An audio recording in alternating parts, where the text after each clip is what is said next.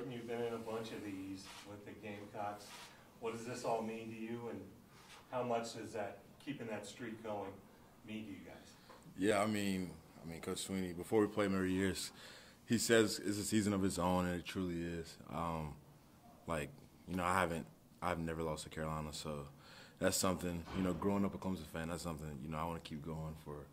You know, even when I'm not here, as long as possible, for sure. I'm guessing that you know lots and lots of people, and even maybe some family members who are Gamecock fans as well. How do you deal with? Uh, how do you deal with the back and forth? Does it come up all the time? yeah, I mean, I definitely grew up with you know some of my closest friends being Carolina fans, and um, you know people I went to church with, different things like that. So, um, you know, I think it's you know is a lot of fun, uh, you know, for you know to have some smack talk back and forth. But at the end of the day, um, you know, my main goal is to win, and however we do that, you know, I'll be fine with it. So. Jordan, what do you think of their defensive line from your tape study, and do they remind you of any team that you've played defensive line wise? Um, you know, they're athletic, you know, and kind of big up front. Um, you know, Zacch Pickens is a baller, um, and Jordan Branch as well. Like those guys are ballers, um, and definitely gonna have to, you know, be prepared and ready to go for them. Um, and uh, I'm not really sure necessarily if they kind of, you know, remind me of kind of any defensive line we played, um, but you know, those guys are dangerous, you know, when they want to be. So, you know, we got to show up, you know, ready to go, you know, against those guys. Being of dangerous when they want to be, were you surprised at all by the uh, Tennessee result Saturday night? Um, I want to say, I mean, as transparent as possible, I was a little bit surprised, um, but I mean, as we know it now, that's just college football for you, you know. So, um, you know, anything can happen on any given day, um, and that's kind of what Coach Swinney, you know, has been preaching to us, and you know, you see it around the country um, every year. So, you know, I, I, think our main goal is not to not let that be us. You know. So. Because does that serve as a reminder in terms of not underestimating them, or just because it's South Carolina, you wouldn't be that? Yeah, I mean, I think you know, for me, you know, being here so long and growing up in South Carolina, like I don't need that um, kind of motivation. Um, it's just, you know, it's South Carolina, and you know you want to play your best against them. And maybe for some of the younger guys who you know haven't been here long or don't really understand, you know what this rivalry means to people, uh, they might need that reminder. But you know, being an older guy who's from here, you know, I don't really need you know that extra kind of motivation. You know, um, like I understand how how big this game is and how much it matters to so many people.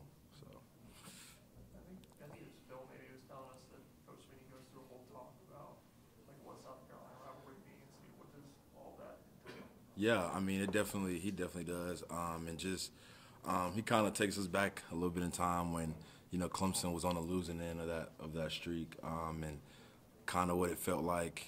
Um, and it's like, you know, you can play as good as you want all season, but if you lose this game, you know, it doesn't really, you know, it doesn't really matter as much. Um, so, I mean, his biggest, our biggest focus, you know, is just to, you know, get this win. Obviously, it's South Carolina, um, but you know, they're they're in our way to kind of what we want to do as a team. So, you know, that's that's enough motivation for itself. Jordan, um, DJ is your leader on offense. How has he kind of handled the ebbs and flows of playing really well, getting benched a couple times, coming back playing well? How has he kind of handled that? Yeah, I mean, I can honestly say um, he hasn't changed at all. Like, even when he's you know playing, you know his best football he's the same person. Or maybe when he's not playing as good that day and they give Cade a shot, like he's he's that same guy. He's supportive of Cade and you know the whole offense. Um, and you know he wants he wants to see the offense and the team you know succeed whether he is in there or not. You know and um, as a leader, you know as a quarterback of the team, like that's tough. Maybe to watch the offense when you're not leading the show or you're not in there. Um, but you know that speaks of you know what kind of guy he is to maybe you know, to understand that he's not playing necessarily his best, but to you know still be supportive and um, lead each day like that. That tells you a lot about it. You know what kind of guy he is. Does it say something too about how he can get a lot of criticism from the outside, and yet he seems to be that same guy who just right. bounces back and you know, and, and, and just plays well. Yeah, I mean, it, it, it just like he's one of the best teammates I've ever played with. Um, just um, year in and year out, uh, last year, this year, whatever it may be, like whenever something goes wrong, he gets you know 90% or you know 100% of the criticism, and you know majority of the time it's really not his fault. Um, if we're being honest, and you won't know that unless you're kind of in the film room, you know, studying the plays or whatever it may be. Um, but from the outside looking in, and you know, it's easy to blame the quarterback. Um, so he takes a lot of you know of you know what goes wrong. He takes a lot of that. Um, but you know, for him to still be su- supportive and you know um, want to see us succeed and not let that get to him, um, it speaks volume.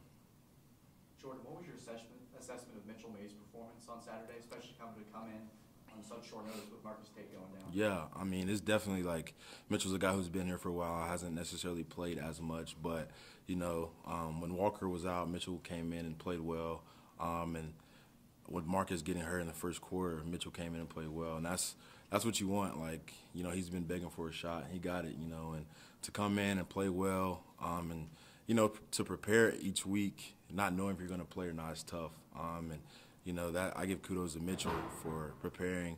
You know, not know if he's going to play Saturday or not, um, but you know, he came in, um, did what he's supposed to do, um, and you know, it's exciting to kind of see the growth, you know, from Mitchell from when he first got here to now, for sure. What did you see from him when he came in the huddle it was his turn? Yeah, I mean, he, I could tell in his face he was ready to go. Um, like he, he had prepared, um, and so we live together. So it's kind of easy to stay on him about, you know, making sure he's watching tape or whatever. So um, he takes it serious, whether it be recovery, the film room. Like he prepares each week, you know, as he, as if he is a starter. Um, so I was just knowing he was coming in. I told him, you know, he was fine. He did it the week before. You know, he's he goes against you know the best guys in the country each day at practice. Um, so just to you know breathe and be confident is the biggest thing I was telling him out there.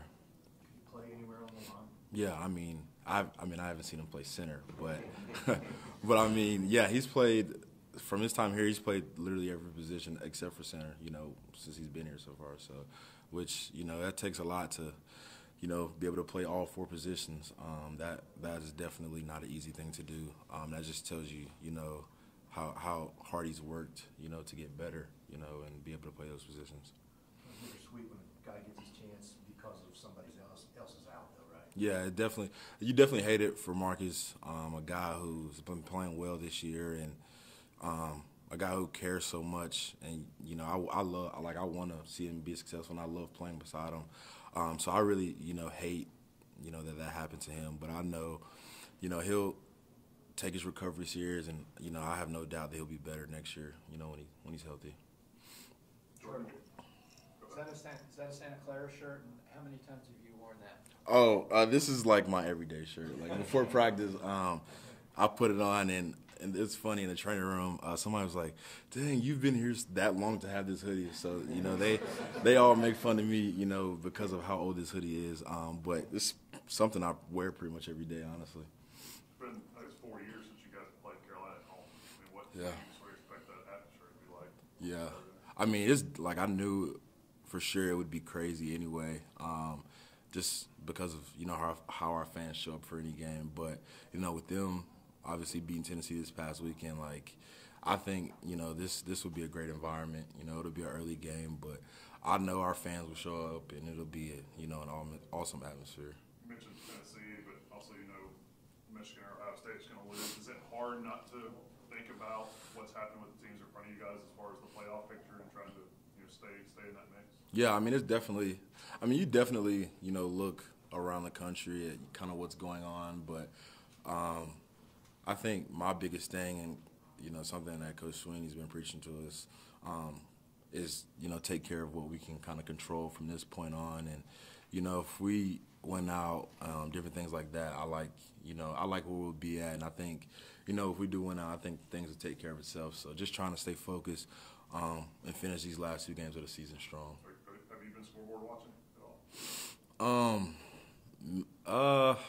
What do you What do you mean by that? Like, as exactly? far as watching other teams, how Oh. if they win or lose, ranked? I mean, I definitely have. Uh, I've been peeking around the country, kind of seeing what's going on, and um, not. But I haven't been getting too caught up in it because I know, like, um, like it's college football, anything can happen. I know, like, um, we kind of dug ourselves in a hole with that loss at Notre Dame, but um, you know, I, like I said, I like our chances if we went out. So, you know, we'll see what happens. Um, but you know, I like our odds.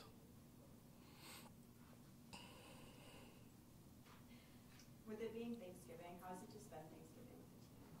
Yeah, um, I mean it'll it'll definitely be fun. Um, just guys you're around all the time, guys you're super close with, so that'll be fun. Um, luckily, I am you know from Spartanburg, an hour away, so I'll get to go home and spend a little bit of time with my family and things like that before um, come before Friday. So um, you know it'll be fun to obviously spend some time you know with the guys here, but also go see my family a little bit. What's Jordan McFadden thinking about Thanksgiving at home eating? What's, uh, what stands out for you? Oh, I mean, of course, all types of food. Um, like Thanksgiving's always a tough part for me because I know I have a game on Saturday, but also being an offensive lineman, I want to eat as much food as possible. So it's kind of it's kind of tough keeping a balance between you know eating whatever I want and realizing you know you got to go play on Saturday. What's the can't miss food? No. Um, for me, it's my mom's macaroni. Like that's something that I have to have for Thanksgiving. Yeah, so. Any questions for Jordan from Zoom? Yeah, Jordan, this is Chapel with the state. Um, I know South Carolina has a few big recruits along the defensive line specifically. Um, what have you seen out of that group in preparing for them?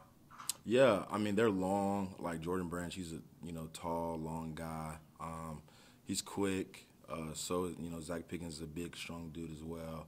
Um, both you know highly recruited guys and both you know great players. Um, so you know like I was kind of saying earlier, we got to have a plan for those for those guys across the D line um, and try to slow them down as much as we can. Um, but it, I mean, it's definitely going to be a challenge for sure. Like they, um, you know, they're grown men. They they they prepare and they know how to play ball um, as well. So you know, we definitely got to have a plan and be ready for a challenge on Saturday. Anyone else for Jordan? It's a random question. I'm writing about Will Putnam. Uh, he walks around with sandbags, I guess, at his house. And I think him and Walker in the garage, like, you know, like a gym or Yeah. in the garage. I mean, what are they like as a, as a pair? in terms of Yeah. I mean they, those two together, uh, they're different for sure. Like they, like they'll butt heads. Like those two, Will and, Par- and Walker Parks will argue all the time. Like they they live together, they argue all the time, um, but they also kind of complete each other. Like they're both equally crazy. So you know they they kind of even each other out. Um, but nah, like being with those guys is always fun. Like you always you always be laughing if you're with those two for sure. I guess what's the most random argument? Um, I don't remember what exactly they were arguing about during like fall camp or maybe spring, but I don't. I have no clue the argument is about. But they were literally yelling at each other in the middle of the field.